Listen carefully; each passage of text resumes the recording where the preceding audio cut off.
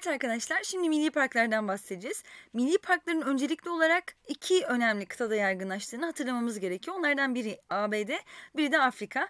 Afrika'daki ve ABD'deki milli parklar dünya e, anlamında da oldukça yoğun yer bulabilmiş. Kendilerini bu anlamda da iyi pazarlayabilmiş parklardır. Şimdi onlarla ilgili genel detay bilgiler isterse bizden aklımıza gelecek ilk bilgiler şunlar olmalıdır. Dünyadaki ilk resmi milli parkımız ABD Yellowstone. Bununla ilgili bir film hatırlamamız gerekiyor. 2012 filminde bu Yellowstone yani parkta büyük gayzerler ve volkanların bulunduğu filmi hatırlamalıyız. O zaman diyoruz ki bu park oldukça volkanik ve bu anlamda sıcak suya da sahip parklar arasındadır.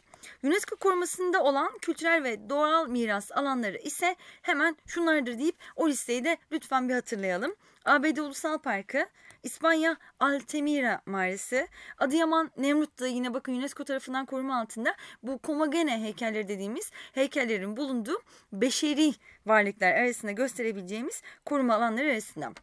Yine Türkiye'de bunlarla ilgili genel detay bilgileri istenirse NATO üyesi olan tek İslam ülkesi ülkemizdir.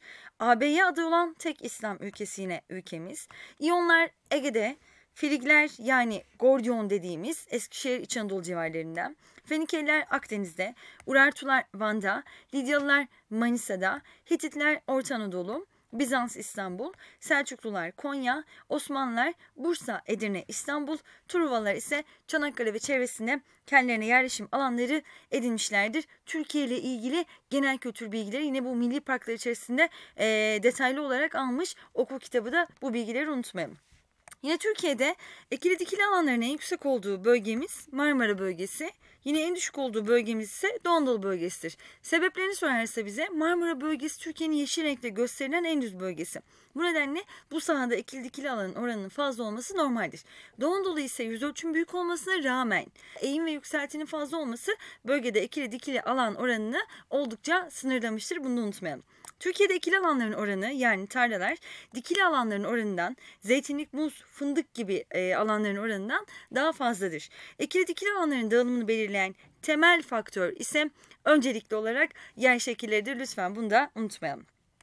Şimdi bu konuyla paralel olarak kitap bilgilerinden yola çıkarsak Dünya Miras Listesi'nde bulunan alanlar ülkemizde ve dünyada neler onlara bir bakacağız. Dünya Miras Listesi'ndeki yani UNESCO tarafından koruma altında bulunan sahalar doğal ve kültürel varlıklarımız olarak üst başlık altında incelenmektedir. Bunlar İstanbul tarihi birçok yeri, Göreme Kapadokya Milli Parkı, Divri Ulu Cami ve Darüşşifası, Hattuşaş Boğazköy, Nemrut Dağı Komagane heykelleri Adıyaman'da bahsetmiştik bunlardan daha önce.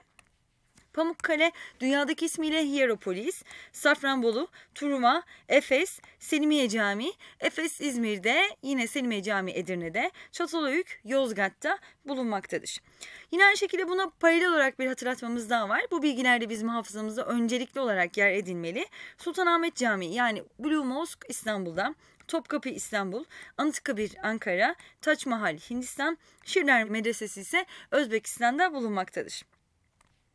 Göktürk yazıtları yine Moğolistan, Manas Kırgızistan, Ahlat Bitlis, Kavalan Mehmet Ali Paşa Camii Mısır, Mostar ise yani Mostar Köprüsü ise Bosna Hersek'te bulunan önemli varlıklar arasında UNESCO tarafından koruma altındaki. Yine dünyada Meksika Ulusal Parkı, Nijerya Kültür Parkı, Hindistan Çatrapati Terminali ve Japonya Kusuri Nehri dünya üzerinde UNESCO tarafından koruma altında bulunan önemli merkezler arasında gösterilecektir. Thank you.